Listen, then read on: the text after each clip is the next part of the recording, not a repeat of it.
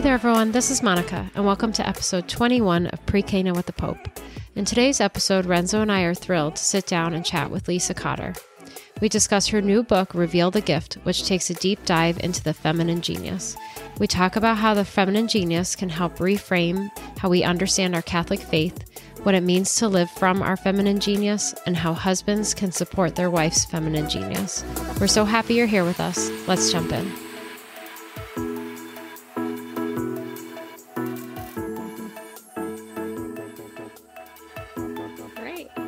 Everyone. So we have um, a new adventure this week on our podcast. Um, we have our first guest, and we're so glad to have her. Um, we have Miss Lisa Cotter. Um, she just recently released a book on the feminine genius. And um, I snagged it immediately because I was like, oh my goodness, between this ministry and youth ministry like i we need more information on this we need to we need to know how to live in the feminine genius and and um i've had the the privilege of following her on social media for a while and i just knew she would be the right woman to say the right stuff so um i was not wrong when i read the book and then um we just got connected and we're so happy to have her join us tonight to share about um, the feminine genius in marriage in particular. Um, but before we get there, we should get to know her a little bit and, and have you get to know her a little bit. Oh, you mean them? Them. Okay, sorry. I thought you were talking well, me. you as well. But I Yeah. guess. No, I read the I read the book too.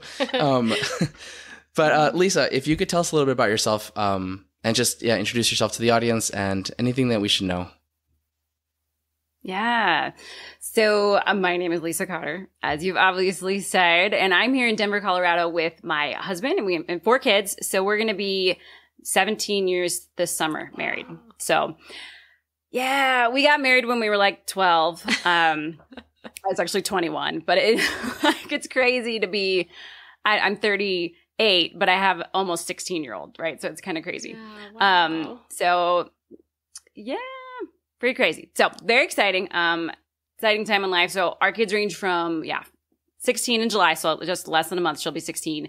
And then our baby is three. And we have been in full time ministry our whole marriage. Um, we went from Focus. We did 11 years in Focus as Focus missionaries, which was fantastic and really kind of how I got started in doing what I'm doing. It was um, in those early years of Focus at the conferences, they just needed staff members to give talks. And so you would submit like a proposal and then they would give you, I think it was like $35 to give the talk. it was great. like, this major, un- yeah, major undertaking. I, I remember one conference I spoke um, two times to uh, groups of like 600 back to back, and we got like a $70 check. And because we were at this conference center, we like spent it all on dinner that Yeah. night. You know, it was Yeah, like go out and we weren't being extravagant. yeah, we, we weren't even being extravagant. It was just like we're at a hotel in a conference center. There's this is it. So kind of some funny, humble beginnings, things that I never, I guess it's not really a humble beginning. Um, it was pretty cool to get to start that way. Um, but I never imagined that this is what God was going to call me to, right? I thought, you know, oh, we're going to get married, we're going to have kids, and we're going to, I don't know, do ministry. We homeschooled for a while, you know, just never imagined that, that God would call me one day to speak and to write. Uh, but here we are. Wow. Here we are, um, years later Yeah. and just had my second book come So out, which is so fun. And so now you were both focus missionaries. You and your husband. Mm, that's always a fun question. So technically, I was not a missionary. So when we got married, um, we went to first to grad school. Kevin was in the first graduating class at the Augustine Institute. Oh, If you're familiar with the Augustine Institute, yeah, and I worked there. And so um, we had our daughter while he was in grad school, and then we joined Focus. So I already had, you know, we already had a baby, so Mhm. it didn't really make a lot of sense for us to like. I couldn't really live the life of a missionary, um, but over the years, over those 11 years, I did a lot of um, kind of like side projects for Focus. So I was the uh, family liaison for a Ah. while, which was really fun, which was a job I created for myself. It started out as a volunteer position, and they were like, That's what you do. um, we actually don't want you to stop doing that. Yeah, right. I just like there was a need, right? We had wives, we were getting more and more wives, and we were all over the country. And I, I you can kind of liken to the life of a focus family a, a little bit. And I don't, I hope this isn't like offensive to military families, but in a sense, there's like a military aspect to it, and that focus will kind of send you wherever and you just have to be ready to move and you might move frequently and you're not around family. And so your focus community has to kind of become your community. And so you see each other at big events and you see each other at new staff training in the summer, which is when all the missionaries mm-hmm. gather to get trained, right?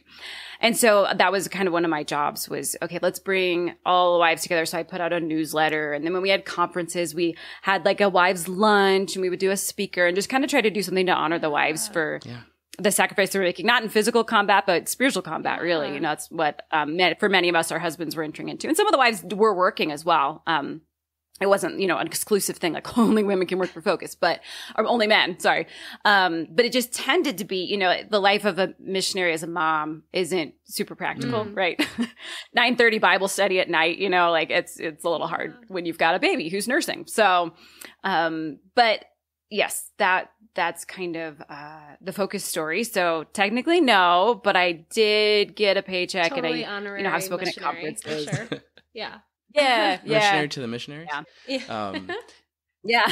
In many yeah. ways, yeah, that is kind of the role of a focus wife. Like you like host dinners and um, the single female missionaries often, you know, are over at your house hanging out. It's it's great. It's a lot of fun. You kind of get to play a bit of the role of spiritual mother sometimes, especially if you're more of a veteran. Yeah missionary yeah. no. in those first years are coming did, in. Did that experience lead you to wanting to write books and speak?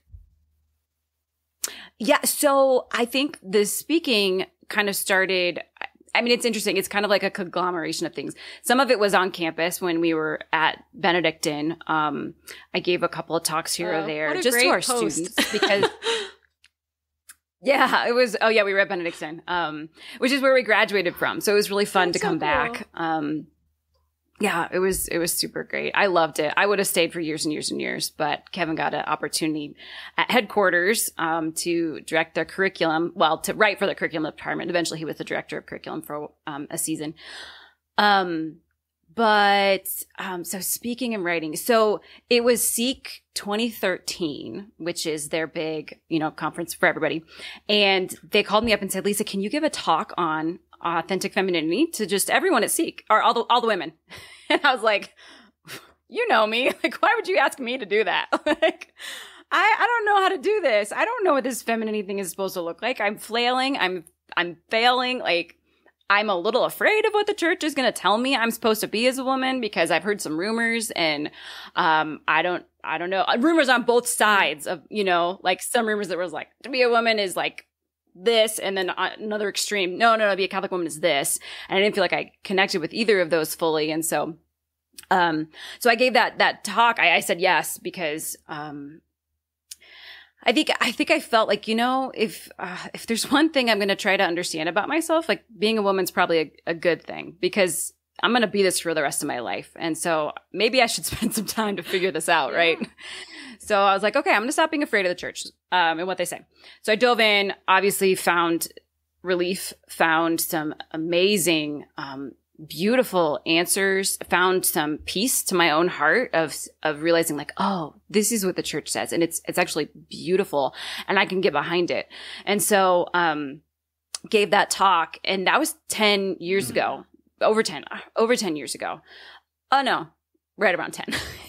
Doesn't even matter. Um, but, I wanted to write this book for a long time and I was just waiting for a prompting of the Holy Spirit. And then in, in the interim, we, my husband and I well, I'll be honest. I wrote Dating Detox. We put his name on it because Jason Evert told us to do that so men would feel comfortable holding it, right? Um, I was like, okay, Jason, you're the pro. Yeah. I'll do whatever you say. so he wrote like two chapters of the 40, right? Um, but I still, still super, I mean, he read through everything and, you know, kind of was like, eh, let's like soften this for the men or let's, you know, not say it quite like that. Um, so they can kind of identify mm-hmm. with, with that aspect as well or whatever it was. Um, but I could, I don't think I could have known when I, so I started writing the book before hmm. COVID. Mm.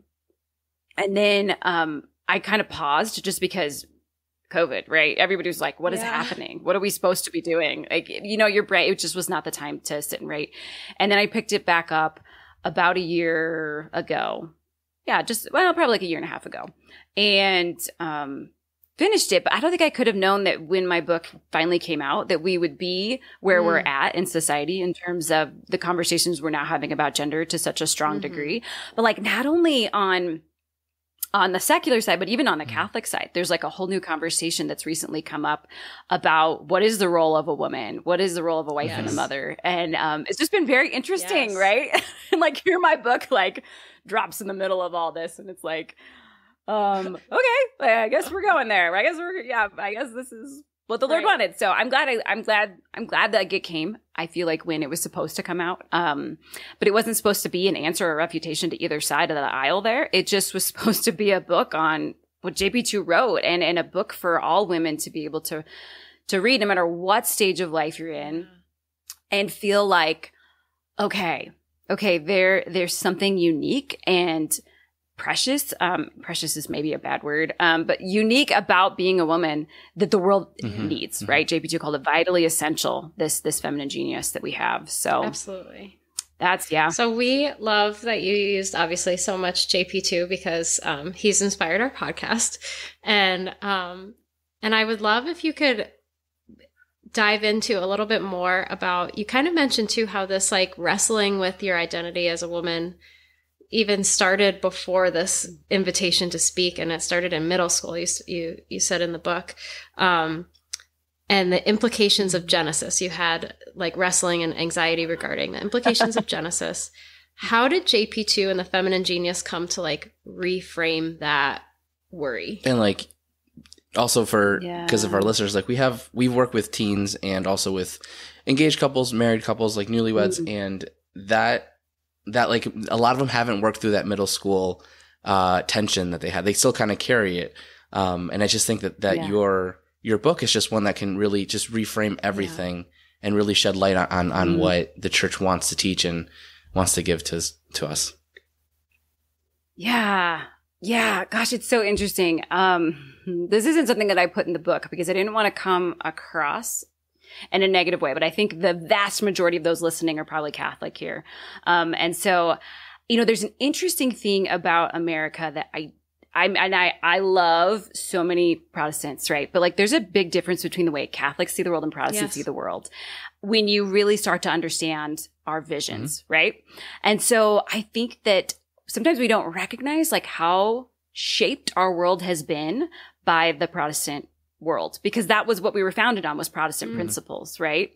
And so I think that we've had this kind of thread of understanding of well, what makes a woman that's that's like kind of been a, a global American culture thing that's actually like a Protestant culture thing and not necessarily Mm. a Catholic culture thing.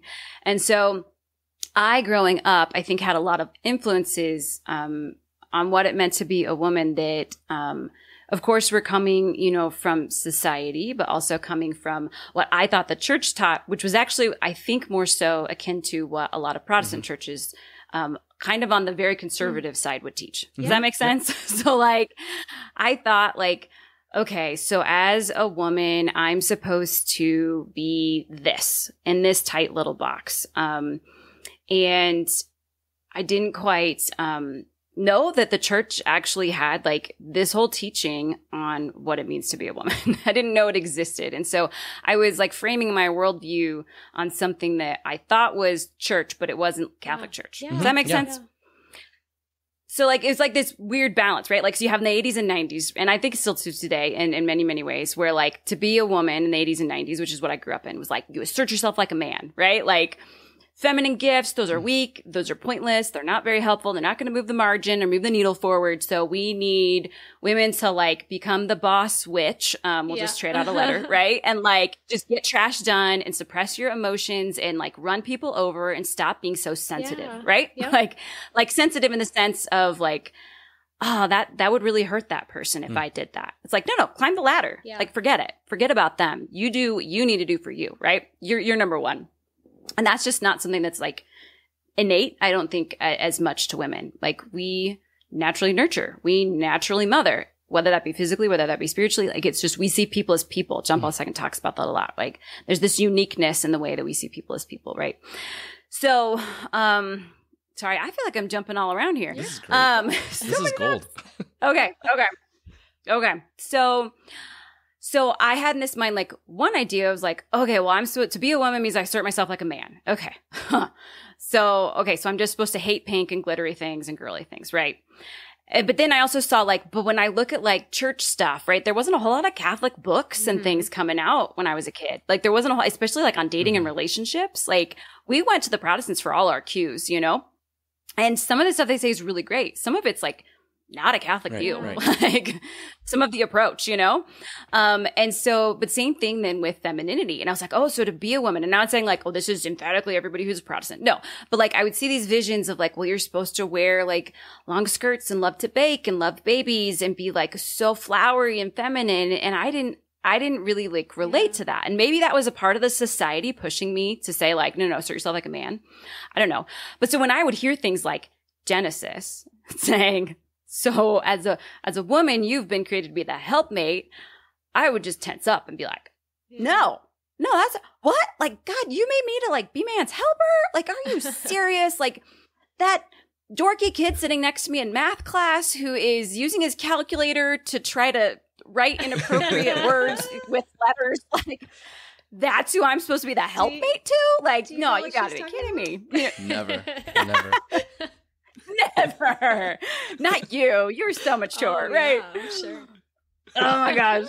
Yeah. And so I was just like mortified. And I was like, well, I guess the like Christian version of a woman that I see is this like very feminine person. And so I guess that's what it's supposed to mean to be a woman. But I, I just, I felt torn in that because I was like, no, but I can do really great things. I can, I can contribute to the world in really amazing ways. And if my only job is just to be like the doormat of my husband or just to be like the secretary to my, uh, to the men in my life, my whole life, I feel like I could do mm. more. And there's nothing wrong with like being a secretary. That's beautiful. That's amazing to be in that like, like so, total like service role. And actually, I think so many executive assistants, I'm like, uh, these this company would fall yeah. apart without them absolutely right like they do so much more than they get credit for right but i just i had this negative vision of this in my head because i was in junior high right and so so like from the get-go i was kind of like mm, i don't know about this right and and there was a lot i think going on in the church at that time too of like a real push for like girls were just being allowed to be altar servers when I was a kid. That was a big thing, mm. you know? And it was kind of like, see, they're starting to like yeah. recognize that you can do things too. And it's like, oh, okay. Like I was a female altar server as a kid and it felt weird. I'll be honest. I didn't like it after like a year. I was like, mom, I don't want to do that. Like, I don't, I couldn't explain it. I couldn't put my finger on it, but it just was like, I don't know. I don't want to do that, mom. Um, even though like here I've been liberated, yeah. right? So, um, that was my experience. Maybe not other women. Maybe other women. I don't know. I don't know. I'm not judging right there. Um, that one's that one's beyond me. Um, just me personally didn't feel right.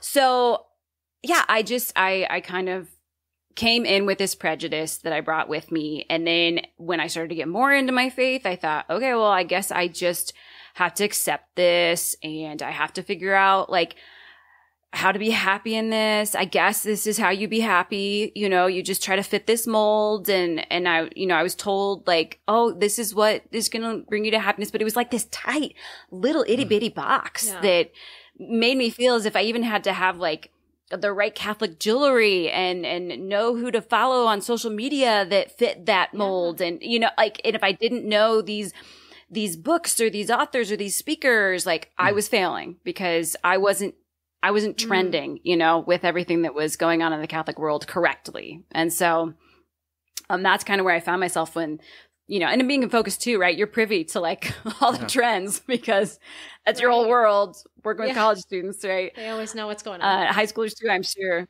Yeah, the high schoolers you probably know. Yeah, they know what's going on too. Like who's the cool TikTok Catholic kids? I'm like, I don't know. Well, and um, that's what I um, loved about your book is that it's not just like a it's not a response to the culture. Yes. In like how it's not a book of like, oh well the culture's going this direction that you have to come back to this. Um, I think it actually acknowledges that the culture is responding. It, the, the way the culture is going is a symptom of, of, of just not understanding the, the full truth. And I think your your book really is like is I don't want to say it's like it's another way, but like it, it really just it acknowledges both sides, yeah. and then and then it provides something mm. different. And like what what was it putting like putting that together? Like what was the, what were the highlights of putting that together? What were the low lights of putting that together? Because because it sounds like it, like yeah. an impossible task, and you put it in a very concise book. So that that was uh thank yeah. you.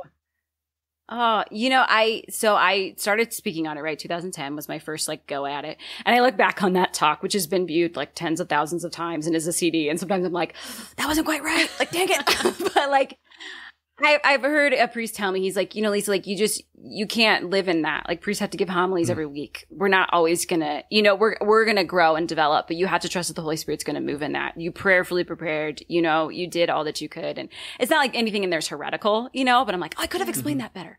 And now I will, you know?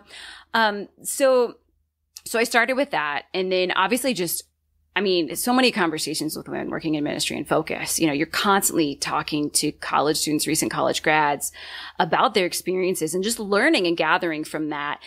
And then when I, um, so I'm actually working on my master's at the Augustine Institute. So I'm, uh, starting my sixth year next Yeah. year. So my two year, You two know, year I program. just He fin- just I graduated. I just finished. Yep. I also just finished this in my sixth year, a two year program. But Oh, I wish I could give you Oh, like a high yes. five through the screen here. So That's hard. amazing. Yeah, and it's kind- you just you just do it, you know, like you just take the steps. Um, so the AI, you know, I was like I said, I was working there. Um, did I say that? I was working there when they opened their doors. Um, I was the only full time employee at the AI. Um, and so I have a long, long history with them. So they've been really good to me, um, and just helping me also kind of pursue some passions. And so part of my study at the AI, I did an independent study on the feminine genius. I just Okay, created it. I was like, here's what I'm going to do. I'm going to read through all these, these books, all these documents. And then I just worked in, I had like this women's retreat I was doing and it was like a four talk retreat. So I recorded those as one of my Yeah. papers and then a chapter for a book that's finally coming out soon, but I cannot, it's not, it's not my book. I'm just a contributor to it, um, on the feminine genius. So I was doing all these different projects. And so I, I just like brought it together. So I did a lot of studying for one semester. I just, I just read. I just read. I was like, try to figure this out. Try to figure this out, Lisa. Like, talk to some great professors. And then, um, I also had a chance to take a course called Women of the Church. Yes, Women of the Church, which highlighted women. So like the women of the French Revolution, like that was all from that class, that chapter on the women of the French Revolution. Yeah. I had no idea who they were before that class, you know? Like I thought, yeah, Marie Antoinette and wigs. like that's all the French Revolution Yes. Like missed a little little bit, right?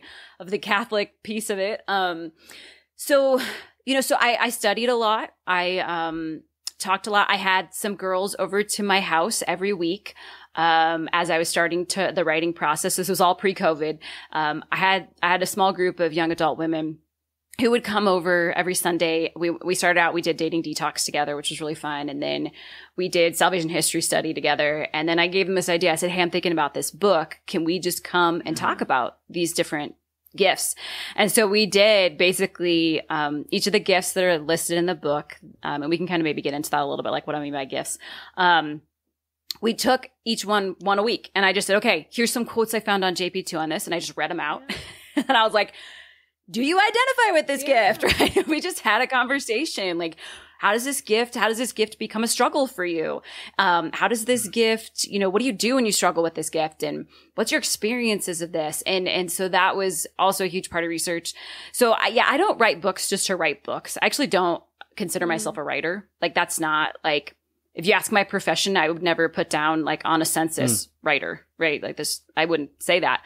Um but i i feel called to bring truth into the world and content into the world. And this was a piece if if there's two things that i think that we get the most confused about in this world it's dating Mm. and gender. And so i wrote a book on dating dating detox and then i wrote a book on on authentic femininity. Because i think if we can get those two things right right and this like totally plays into everything with marriage Yeah. like everything with marriage right? Like if you can't if you can get dating right before you get married and if you can understand your uniqueness as husband and wife as male and female it's going to solve so many issues that that we struggle and fight with and have baggage and drama through. And so that's why i i yeah, I love went for this I book. just loved even like you speaking and then reading reading the book how you pull together um the writings of JP2 which are like fabulous. And then you pulled real lived Mm. experience of women your own experience lives of the saints and and um, future saints and pulled that all together so that it was just this holistic picture of womanhood and Mhm. that like you said before fitting into boxes that like that is not spoiler alert, like that's not what the feminine genius is. like it is not a box meant to be fit Mm. in, but Mhm. it's it's something to be lived. It's a lived reality. And I just think that you did Mhm. like a masterful job of of bringing in the misunderstood church teaching, clarified that in a way Mhm. that like was really easy for me, a non-masters reader, to understand. Um, and then yeah, just pulling in stories of of of real women. I think it was such a gift. Yeah, like when we were talking about it, I loved how the way you phrase it, like you that you were um, living from your feminine genius, like, like not living it out, but living from it. And I thought that that was so. Like, Mhm. could- do you want to explain that a little bit more, and then also like while explaining what the feminine genius Yeah. might be, if uh, for our listeners? Yeah, no, I think that's a really great question because there's confusion on it. What is the feminine genius? You know, I, I do this often when I give a talk. I'm like, we're talking about the feminine genius today. Who can define it for me? Everyone's like, Yeah. mm, mm-mm. like, don't, don't call on me. like, I've heard it. I think I have like some general ideas, but I don't know. And part of the struggle is that JP2 never Mhm. defined it. he never defined it. And I think what most people don't realize is that like he also didn't invent it. This wasn't a phrase that he came up with. People say, oh, he coined. And I'm like, he didn't Yeah. coin it. Um, you know, he, it, this wasn't like a concept that he came up with himself. It actually, it, we don't know for sure, right? There wasn't, you know, some author who was like, I am the feminine genius um, expert or whatever, right? But in the 30s, even back in the 30s, there were German, female German philosophers who were writing and talking about this, this genius that is essentially woman. Um, so that'd be Virtue, Vir- Gertrude von le Fort, um, in her book. Um, oh, now I'm blanking on the name of the book. Oh, hold on. I think I've got it. Um, written down here. Yeah, it just says Gertrude von le Fort. Um, so 1934. Um, she wrote a book. We'll put it in the I'll- show notes. How's that? find. I'll make sure yeah. it. yeah, we'll find it. Oh, it's gonna drive me crazy. Eternal Woman. I think it's Eternal Woman. Pretty sure. Confirm that. show notes, it'll be Check the there. notes. Yeah, I'm pretty sure it's Eternal Woman. So, it, and she would ta- she talked about this, and some people think that book's from 1954, but that's when it was hmm. translated to English. She actually wrote in 1934, and so JP2, like he was reading Edith Stein, like he hmm. was, you know, when you look at his Mulieris Dignitatem, when you look at when he talks about femininity, you can see like, oh, he's he's read her, he is taking concepts from her, and so I imagine these people these female philosophers in the 1930s probably Mm. knew each other to some extent or were reading each other's writings. I can't Mhm. imagine them not. Like this is a Right. niche Right, community right. here, right? So we've got like Gertrude and Edith, you know, having these conversations. So Edith doesn't use that phrase, but Gertrude did a couple times in her book. She talked about this. This genius is essentially woman. Okay, so what is it? I remember hearing it in college and thinking, oh, that just means women are really smart, right? Like we're geniuses, we're brilliant, right?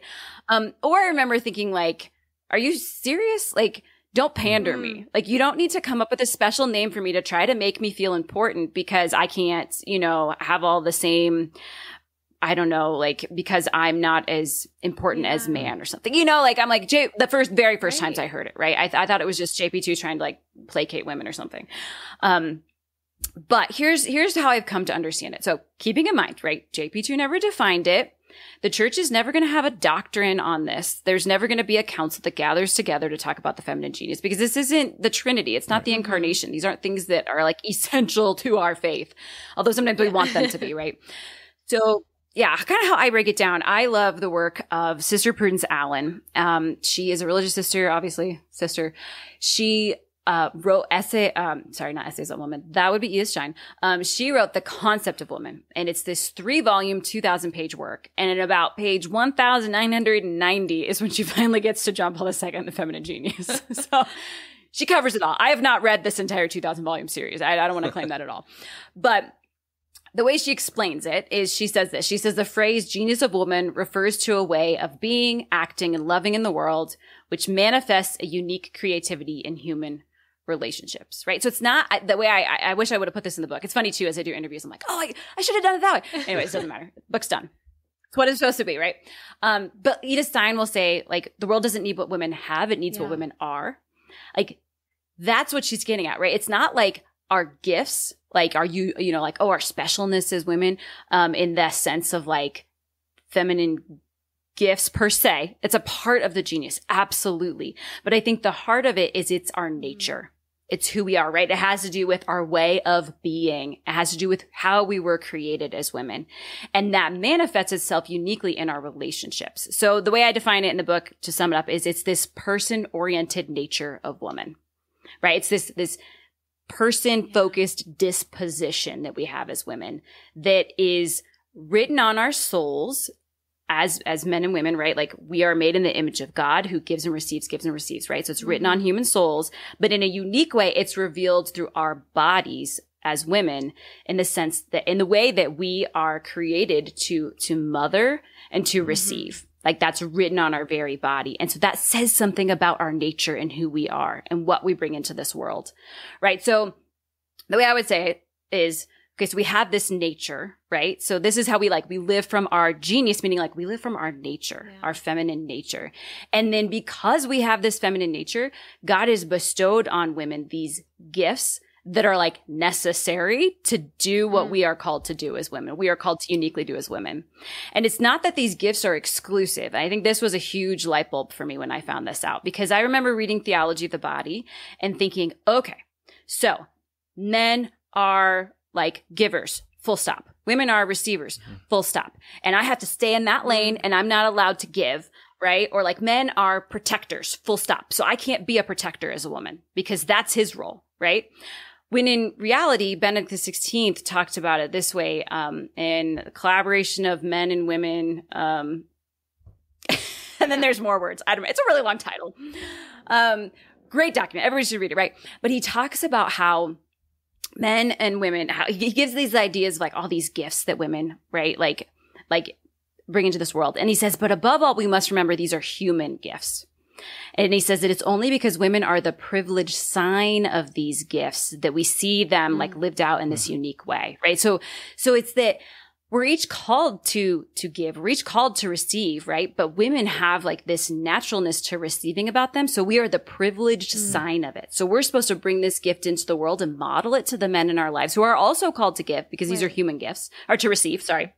Um but like we are the ones who like more have a more like a um a, a um what's the right word? An inclination to it. And so we are the ones who who model that for the men eyes and then men have these unique gifts right too that they have been kind of written on them and that they manifest uniquely that they're called to model to the women in their lives, right? So it's not like men and women are pitted against each other and it's like, here's, here's man column A, here's woman column B, don't stray. But like, no, no, no, we're called to be human, right? JP2 says like when we live from these things, the human finds full realization, right? I can't understand who I am apart from man and man can't understand who I am apart from, from woman. We need each other to fully understand who we are created to be. And when we live from that, that's when we find full realization. And I think what I was raised in was like this pitting of men against women, right? Like men are the enemies. They're the bad guys. We need to like rise above them. We need to like outmen them, mm-hmm. you know, like outman them, right? You know? And so it was like, oh, they were seen as enemies as opposed to no, actually like when we work together, we help each other become mm-hmm. more human. Like if, like his gifts are not like a mm. threat to me, but like a compliment to me, right? Yeah. Complementarity. Big, big JP2 words. A compliment to me that show me and reveal to me more about who I am. So now, um, and so like one of my favorite parts of the book was your dedication, because I I love the way you Yeah. worded it. That that um, oh, I wrote it down too, and I don't know where I put it. Mm. But go to the beginning. I'm going to the beginning. No, those are my notes. Oh yeah, it's, I wrote that you around thanked him for encouraging you to to live from your feminine genius, Mm. and to her husband. She Yeah. dedicated yes, yes, husband. yes. I don't, well, that that yes. Mhm. Sorry to the husband, not JP two or sorry. Um, but like Kevin. yes. Um, sorry. But like, so how do you see this play out in marriages, or how should this play out in marriages? One, like, how should um the the wife kind of adopt this and and and live it out? And how do you see ad- uh really integrating the feminine genius change how marriages um just function? Yeah. I think it's that recognition of I have unique gifts that I have been given that like are more natural to me and you have unique gifts and neither one of us so so that means that neither one of us is always going to be the person Mm. who's right. right? Like sometimes I, I, this is going to be a place where I am going to just naturally be more prepared, right? And there's going to be times where there's places where you're going to be more prepared. And I think understanding and knowing these this uniqueness of how we are created and these gifts can relieve some tension when it comes to those arguments. Um, where it's like, oh, but but like I just always want to be right, right? There, there's a tendency in that. Um, I think for both men and women to like always want to be the one who knows the answer, always know the one to be right. Where sometimes I can step back and go, actually, my husband, like he's probably going to do a better job with this one, so I'm going to let him go first and and take the stab at it, and then I will follow up with however I think we could fill out this idea, this concept, this conversation, this discernment, whatever, and um, not be afraid, right? like trusting in each other that this is not, this is your life and this is my life, but like, no, no, no, like we're complimenting each other. Let's lean into that. Let me allow you to compliment me. Like I, I actually, there's going to be times, yeah, where I'm not going to be as strong in a certain area. And that's a good thing that you are. And I don't have to always know the answers. I don't always have to be right. And that's like part of the beauty of marriage is that, that, that working together where in that sense, like you're, you're not alone. Um, and I think that that is like such a relief to me. So there's times where like I had to let him just like do his thing and he just let me do my thing. Um, and of course we have conversations about tough decisions and things, but we have to lean on and trust each I other. loved- in, in I love that gifts. example of the emergency that you gave, and I think you had taken it from somebody else's story, Mhm. but um, of how the Mhm. the husband and wife, the mother and father, responded differently to an emergency in their home. Um, and I think it speaks to the complementarity of the, the so it was um I think it was like somebody was coming into the house. Don't give it away. Don't give it away. Gotta buy the book. Sorry, Gotta Gotta, buy the book if you want to hear the story. Just kidding. Anyways, oh, but I feel so like fun. I, I feel like Yeah. I've seen examples of that in our life where like we would respond differently in the Mhm. same situation. And sometimes we defer Mhm. to the other because their naturalness in that situation is actually where we should be leaning. And then sometimes it's because we both respond differently that the the whole picture hmm is probably the way it was meant to be Mhm. because we both collaborated because we both worked together. Have you seen that happen in your marriage, Yeah. like with with Kevin and raising the kids and moving around to different places, Yeah. like all these adventures that you guys have been on? Have you seen that live well in your marriage? Absolutely. Yeah. Yeah. I, you know, the one I, I always think of first is like house hunting for us, right? Like I go into house and like my heart immediately starts to move in Yeah. right? and I start to get emotional about the house and I start to pick out whose bedroom is going to be where. And, and it's a, it's like, that's a beautiful thing that like my, my heart like wants to make space for people and wants to, people first, right? I'm thinking about Mm. people, right? That's, that's my natural inclination is where are we going to fit into this home? Whereas Kevin comes in and he's like, okay, financially, like, is this place suck- structured Yeah. well? is it sound? Is this a good place to purchase? Or are we going to end up in a money Mhm. pit? Right. So he's seeing it like with a different lens. And so sometimes, yeah, we would kind of, it'd be easy to get really tense about house hunting. Um, we've bought three houses because we've moved quite Oh. a few times over over the years, right? And so I will go in a house and Kevin has to remind me like, we're not buying it because you saw it for five minutes. Like we're gonna sleep on it. Like we're gonna like we're gonna do the inspection. Like hold on loosely, right? And so there's that that balance there, which is a good thing because my first thought is not how's the foundation. like I don't care about the foundation. We can fix it, right? Like well, maybe, but we don't have you know that to cost twenty thousand dollars more. No, we can't fix it. So. Um, so you know, you see, you see that I think a lot, um, and I think that the- the issue that we need to be careful with here is that we don't start putting that into stereotypes, right?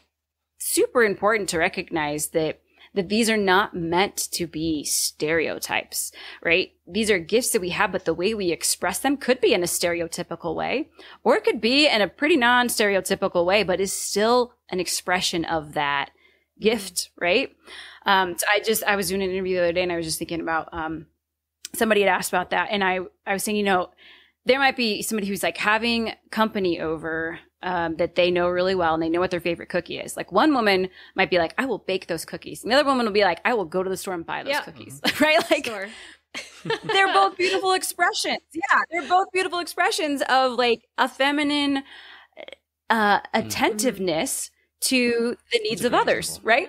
like, and it's okay that they weren't homemade, right? But and it couldn't. It might not be cookies. It might be you know their favorite mixed drink or whatever. I don't care what it is, right? But there's still an attentiveness too, like to that even person. even you have like these men who are like the cookers or the bakers of the family, and that's their like Mhm. natural inclination to like provide, you know, for the like it just because it Yeah. doesn't stereotypically fit, there is that like what you live Mhm. from is coming out. Sorry, I don't provide like that. Yes. You don't provide sorry. with cooking. That's okay. Yeah. you But make really good scrambled eggs. That's such a great way to put it. Like that's Lies. my husband made scrambled eggs for the kids tonight for dinner. go. It's a it's it's a dad possible. Always a Yep. win. Breakfast for dinner is always Um, a win. Yeah. Yeah. I love that though. That is that's such a perfect way to put it. Like that is an expression of providing, right? Like I- one of my one of my professors at the Augustine Institute um, at the end of class was talking about complementarity um, eh, for some reason, and he was like, "I make all the food at our house." He's like, "I cook all the dinners," and I'm like, "Yeah," and that's like totally fine. Like that doesn't emasculate Right. you, right? Where whereas some circles would argue that that's emasculating him by expecting him to make dinner or allowing him to make dinner, and Right. it's like what? What? Yeah. what? That's not.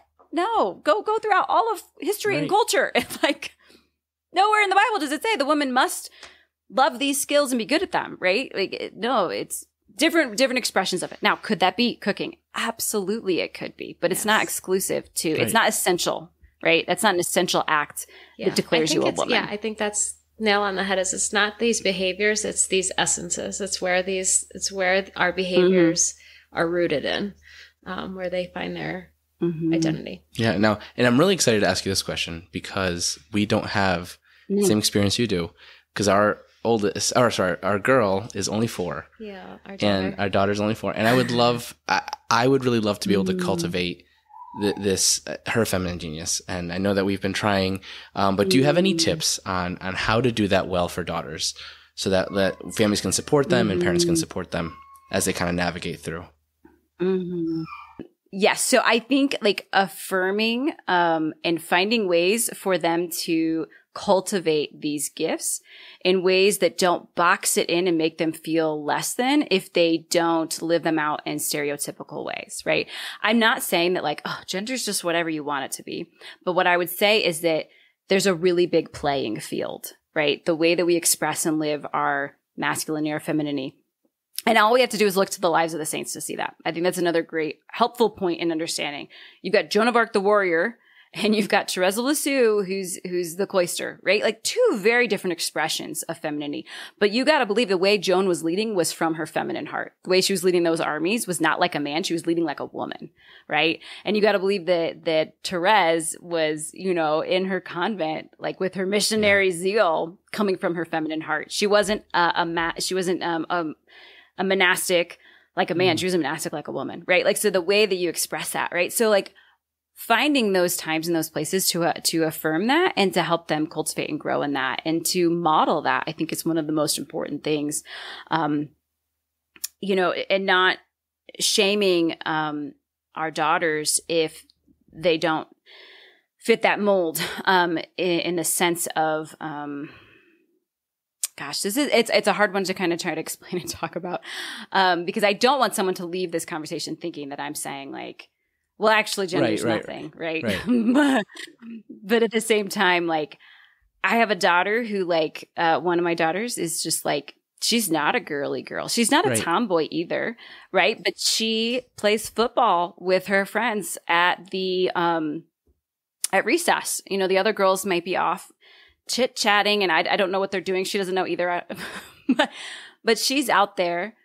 She loves to play sports. She loves to play soccer. She loves to play football. And I don't ever want her to think that, well, she's not feminine enough because she enjoys sports, right? Like that's not essential to her femininity. But I do want her to play sports in a way that, um, is true to who she is, right? So now if she starts like throwing punches at boys, then we were going to have a conversation, right? like if the way that she's going to express her frustration and anger, you know, um, I don't know. I don't know. Maybe we're Well, getting stereotypical here No, again, I, right? I love that because one of the things we, we like to do with with the um, with our podcast is hoping we're hoping that married couples can go and then take this conversation one by your book, but then have a conversation amongst themselves and, and how are they're going to implement this.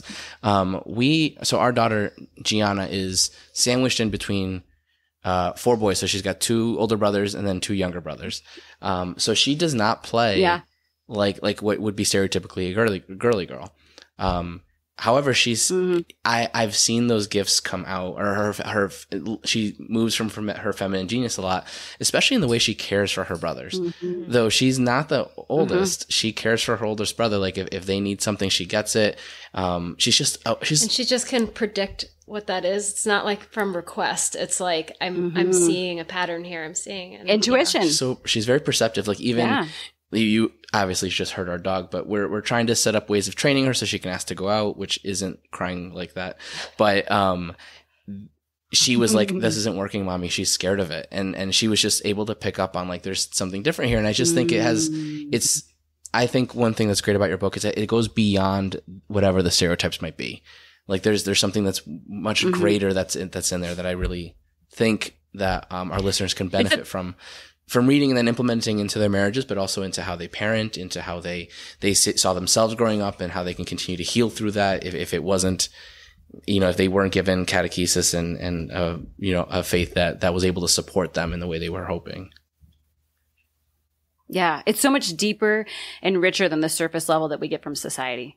Like when you really understand the giftedness of each gender and, and what they, the uniqueness that, that they bring to the world, like it's, it's just fathoms deeper than, than what we've been given. Yeah. Exactly. So um, I think I think this is a good place to to end. Um, Yeah. and sorry, can we just show that? Sure. I don't know if we're gonna use the video still. If people see, if you if you watched up to this point and we did use this video, you're welcome. But we don't know if we're gonna do that. Um, but the book is "Reveal the Gift," um, by Lisa Cotter. Um, thank you so much for just being on having this conversation with us. Thank you for your patience with our all the different things that we had come up. Oh, it was nothing. It was nothing. Don't you worry. I love it. I love real life. I love real life podcasts where you do feel like, oh, I popped into the living room this afternoon, or you know, like that's that's more authentic to me than the like everything was perfectly polished. Where can people find you? Uh, you can find me at well, the book is at ascensionpress.com slash reveal the gift, and then I'm also on Instagram at Lisa Ann Cotter and with no e, and I have a website. It's made to magnify.com. I don't really update it, but if um, you know want you want to connect with me there, there's a way to connect with me there as well. Beautiful. Yeah. Um, so we'll put those all in the show notes as well, just in case. And um, Lisa, thank you so much for for joining us. We really appreciate it. And um, our listeners, if you have any follow up questions, we would love to. Uh, we would love to dialogue about the feminine genius and how we've seen it in, in marriage, and um, and we'd love to help you connect with Lisa as well if you have any follow up questions or comments. And um, yeah, so we're gonna we're gonna pause recording and then we'll we'll follow up with you in a second, but um, just so they don't have the banter at the end.